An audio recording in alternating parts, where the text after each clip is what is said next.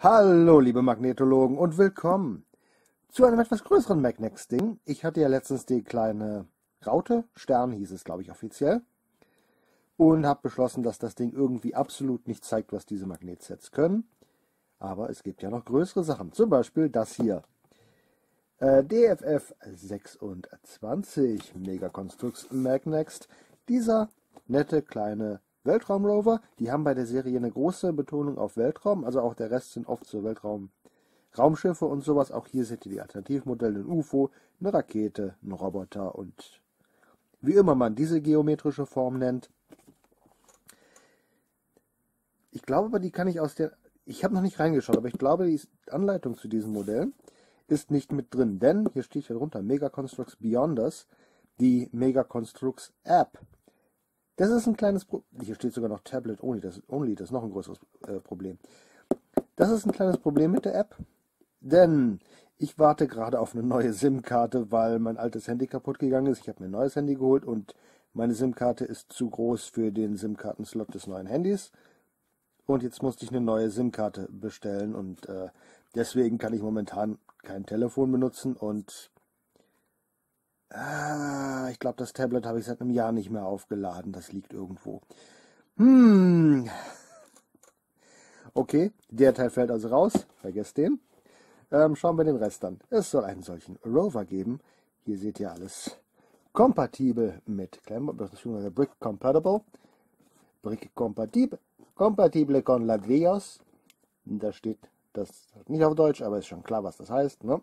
Auch wegen dem Bild. Alles Kompatibel mit normalen Klemmbausteinen, wie sich das für Mega Constructs ja auch gehört. Die sind ja problemlos mit allen anderen Marken zu verbauen, alle anderen Standardmarken. Ja, 5 in 1, das fällt weg. 138 Teile. Erscheint nach relativ wenig Teilen dafür, dass man, dass das hier ein Set ist von um die 30 Euro. Äh, ich habe keinen wirklichen Preis dafür gefunden. Ich weiß, dass der Amazon-Link, den ich reingepackt habe, 50, 50 verkauft halte ich für deutlich, deutlich zu viel. Aber ich finde auch keinen anderen Link. Leider. Leider. Aber hey, können wir mal gucken. Ich denke, es sind wenig Teile für, für, für die 30 Euro, ja. Aber es sind halt diese großen Teile mit den Magneten und so. Und ich glaube, am Ende das Modell wird ungefähr in der Größe hinkommen mit einem 20, 30 Euro Lego Modell. Werde ich auch gleich vergleichen, denn wir haben hier noch den Lego City Weltraumrover hier. Der wird nachher im Vergleich auch auftauchen. Sieht sehr, sehr neongrün alles aus, Karton mit viel Blau. Wir haben an den Seiten sehr viel Text. Seguranza, einen grünen Punkt. Sehr schön, das sieht man, das wird auch für den deutschen Markt gezielt gemacht. Ähm, ja, hier steht es mit Bausteinen kombinierbar. Jetzt wissen wir sogar, was das bedeutet. Hier ist nichts außer einem Magnex Logo. Und ja, hier auch. Magnex Logo 5 in 1 Mack und Deckes. Komischerweise auf Deutsch heißt es Set Mac-Roboter. Überall anders heißt es Erforscher oder Entdecker. Hm. Na gut, schauen wir mal rein. Es ist ein. Uh, es ist ein Karton mit einer Aufklappklappe. Die ich natürlich nicht aufmachen kann, weil der Tisch nicht groß genug ist. Moment, drehe dreh ich den einfach mal um. Dann geht's wieder. So, was ist mir jetzt auf den Fuß, gefallen? Ich glaube, das ist ein Teil von meinem... Äh, Moment. Ja, das stammt von einem Lego-Modell, das hier neben steht. Und, oh, der Aufklappkarton ist nochmal ein Aufklappkarton. Ähm, das fühlt sich an, als wären die Kugeln hier drin. Okay, ist zugeklebt. Ja, da sind definitiv die Kugeln drin. Oh Gott, nein, nicht doppelt aufklappen. Das passt doch überhaupt nicht auf die Kamera. Die haben echt nicht, echt nicht an mein Videosetup gedacht, als sie diese Verpackung entworfen haben. Oh Gott. Ah! Gott, ist das alles unpraktisch hier für mich. ah, so. Okay, geschafft. Und hier haben wir jetzt, da ist noch mal eine Stange Kugeln. Und dann haben wir mit Steinen. Wir haben die viereckigen Magnet-Elemente. Wir haben die dreieckigen Magnext-Elemente. Wir haben Steine in Neongrün und Violett. Ich glaube, da ist auch diese ungewöhnliche Jumperplatte. Ah, kann man die sehen? Ne, das sind normale 2x4 Steine. Ah, doch, hier. Hier. Eine 2x4er mit vier Noppen in der Mitte. Habe ich so auch noch nicht gesehen. Gibt es, glaube ich, bei Lego nicht. Da ist äh, nochmal, haben wir zwei davon. Okay. Ähm, wir haben Räder, wir haben noch ein paar viereckige Magnetteile, wir haben kleinere Steinelemente. Technikpin im Neongrün, okay. Ähm, wir haben eine Bauanleitung und noch einen Zettel da reingewutscht. Was soll das denn? Wieso ist da ein Zettel reingebuddelt?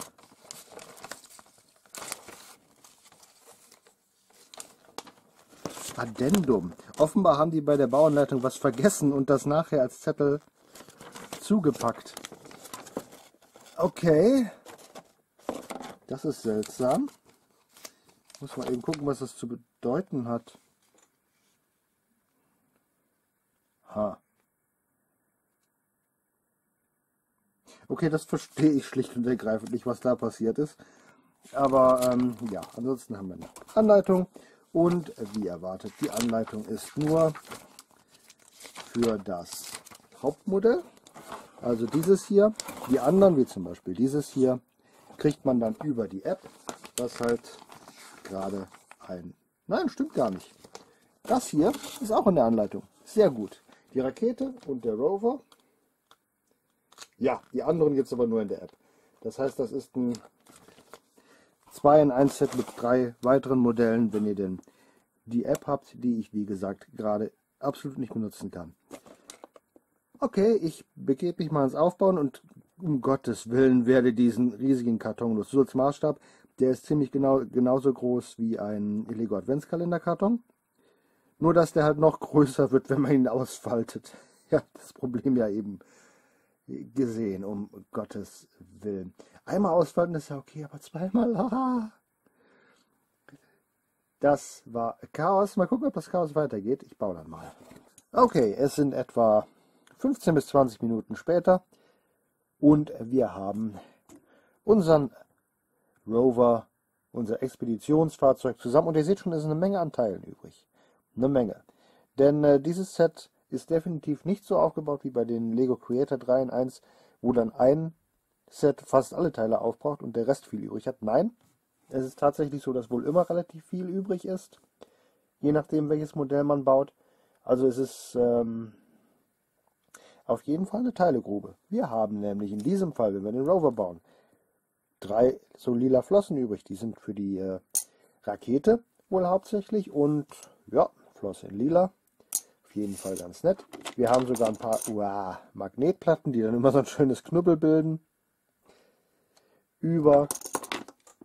Wir haben Stangen in Neongrün. Schöne Farbe, um, um sie für Stangen zu haben. 2x1 Jumper, 2x2 Stücke mit Barren. So ein Cockpit-Teil hier. In, oh, noch eine, noch eine neongrüne Stange. Na, Cockpit-Teil hier in neongrün. Das ist, glaube ich, sehr interessant für Leute, die selbst was bauen wollen. Kleines Flugzeug oder so. Was auch immer das hier ist. Oder das hier. Große Gitter, sehr schön. Und 2x4 normaler, normale Platte und eine von diesen lustigen Megablocks Jumper Platten. Und dann haben wir den Rover und ich sag gleich, ich werde den nicht wieder auseinanderbauen. Die Teile, ach so, genau, und fünf Kugeln. Die Kugeln, Stahlkugeln, sind nicht magnetisch. Uhu. Ähm, die sind nicht magnetisch, das sind einfache, vermutlich Edelstahlkugeln die äh, Magnete sind ausschließlich hier drin. Aber ja, funktioniert nicht. Schön, dass wir fünf übrig haben. Was auch immer ich damit mache, ich werde wahrscheinlich in meiner Sammlung, ja, die sind so halbmagnetisch. Wobei die sind wahrscheinlich deswegen jetzt magnetisch, die halten ein bisschen zusammen, weil die halt hier dran waren. Damit haben die ein bisschen Magnetkraft bekommen. Wird sich wahrscheinlich relativ schnell auch wieder erledigt haben. Aber sie sind so auf jeden Fall nicht so stark magnetisch, dass sie irgendwie zusammenhalten würden. Ja, die sind nicht so stark, dass eine Kugel die andere halten kann. Dafür muss sie so einen Magneten ran und dann kriegt sie ein stärkeres Magnetfeld. Ihr wisst, wie Magneten funktionieren. Oder auch nicht, wenn man der YouTube-Musik glauben darf. Der Punkt ist, Magnete, keine Magnete, einfach nur Stahlkugeln. Edelstahl. Ich hoffe jedenfalls, dass es Edelstahl ist, damit es nicht rostet. Aber ich glaube schon. Ja, und dann haben wir dieses Ding. Die Bauweise erstmal ist ganz interessant. Und zwar baut man zunächst mal das Gerüst hier aus diesen magnetischen Platten zusammen, ohne irgendwelche Sachen dran, einfach nur das Gerüst. Und äh, baut das im Grunde platt und klappt es dann zusammen, dass man diese Grundform erhält. Interessanterweise wird es auch den größten Teil des Baus auf dem Kopf rumgebaut. Also wirklich so rum, bis dann halt die Räder dran kommen. Und dann erst dreht man es um. Das hat mich überrascht, weil ich hatte wirklich, äh, ja, hat mich einfach überrascht. Ich hatte erst gedacht, dass sie oben auch, weil sich das so nach unten neigt, dachte ich, ja komm, das passt halt, das ist nach oben geneigt. Ne? Aber nein, also die Bauweise ist ganz interessant. Wie gesagt, die werden erstmal zusammengebappt aus den Platten und den Kugeln. Die Kugeln sind auch notwendig. Die Kugeln halten das Ganze in Form. Ohne die Kugeln verbinden sich die Magnete sonst wo. Die halten das Ganze in Form. Ja, dann wird es zusammengeklappt. Und dann werden die Platten einzeln rausgenommen, immer die, die man gerade braucht, und einzeln bebaut und dann wieder eingesteckt. Und äh, so wird dann das Modell erstellt. Das ist ganz interessant. Das habe ich, also so eine Bauweise habe ich noch nie gesehen. Macht aber durchaus Sinn, dadurch, dass man hier die Magnetverbindung hat und die Magnetverbindung halten es halt nicht aus, wenn man gegendrückt. Denn äh, dann lösen die sich irgendwann und gehen nach irgendwo weg, hauen nach innen ab, der jetzt nicht, aber ist mir beim Hochheben auch schon passiert. Muss man ein bisschen aufpassen. Wenn man die so hochhebt oder so, immer so nehmen, dann geht's. Interessanterweise die Vorderachse ist beweglich, alle anderen nicht. Die sitzt nämlich hier auf einem Gelenk. Gelenk auch aus interessanten Teilen. Das hier sind 2x2er, die nur einen halben Block hoch sind und dann hier so eine Stange drin haben. Und das hier sind Doppelgreifer. Auch interessante Bauweise. Interessante Teile. Man muss nur immer den Winkel finden, unter dem das Ding dann auf den Boden. So, jetzt haben sich alle sechs Räder den Boden. Was man dadurch natürlich machen kann, man kann es umschalten von einem Sechsradfahren auf ein Vierradfahren. So, jetzt ist das Innerste nämlich nicht am Boden und bewegt sich nicht mit. Bisschen so wie LKW das ja auch haben. Wenn sie Schwer Schwerlast fahren, senken sie die mittlere Achse ab. Einige LKW. Ganz nett. Ihr seht, das rollt sehr gut. Die neongrünen Räder sind sowas von hässlich. Und nein, es ist alles nicht nachtleuchtend, es ist einfach nur neongrün.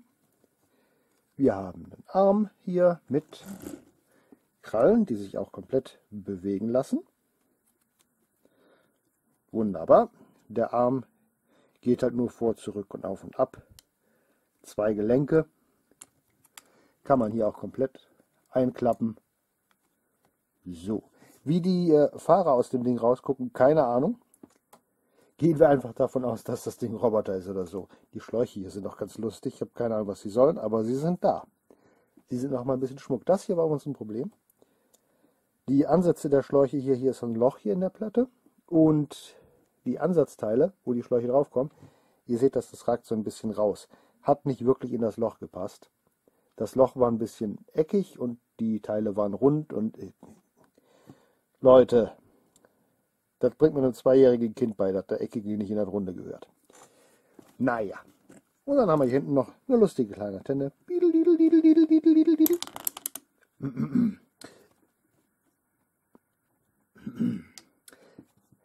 Sitzt auf einer dieser neongrünen Stangen. Hier haben wir diese lustigen Megablocks 2x2 Jumper mit der Einzel... Die sehe ich nur bei Megablocks, vor allem auch mit diesen runden Kanten.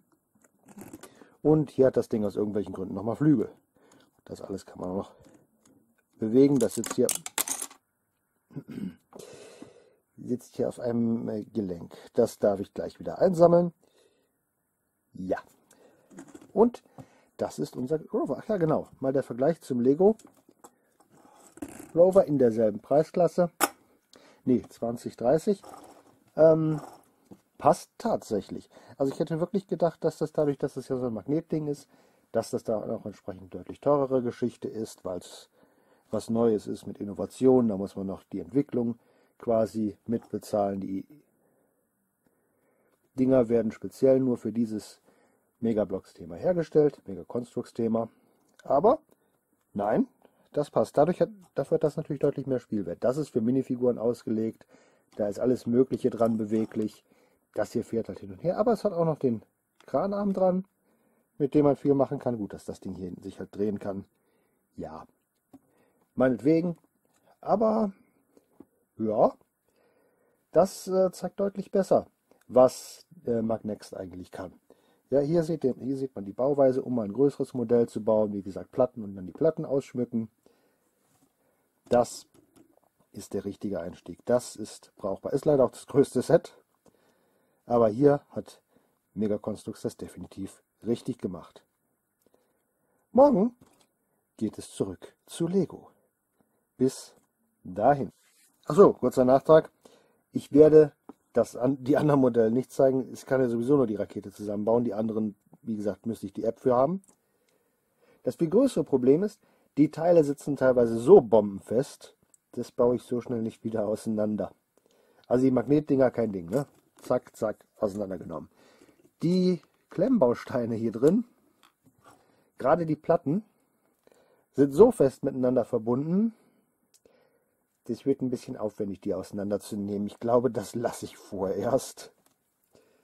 Und äh, der darf dann erstmal so zusammenbleiben. Aber deswegen, ich meine, ihr seht, das Ding ist nett. Ich kann ja auch noch mal eben das Bild von dem anderen, wo die Anleitung mit bei ist, zeigen. Das war er hier.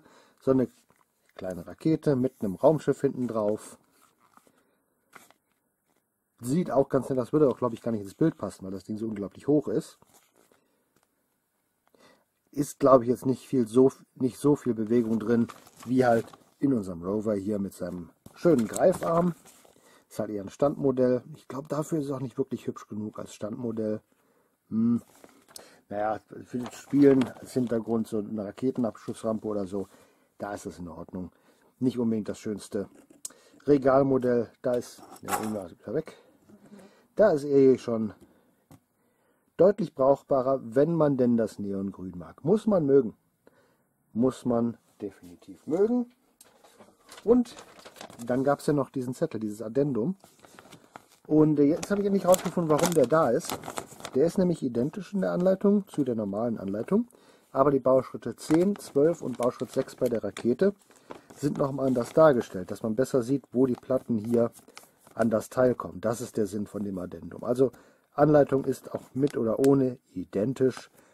Der Zettel, der beigelegt ist, zeigt nur nochmal etwas besser, wo die Platten genau hinkommen, damit man sich da nicht verbaut, denn wie gesagt, die sitzen sehr, sehr fest. Wenn man sich da verbaut, dann hat man erstmal einen kleinen Kraftakt vor sich, die wieder auseinander zu bekommen. Okay, nur aber bis dahin.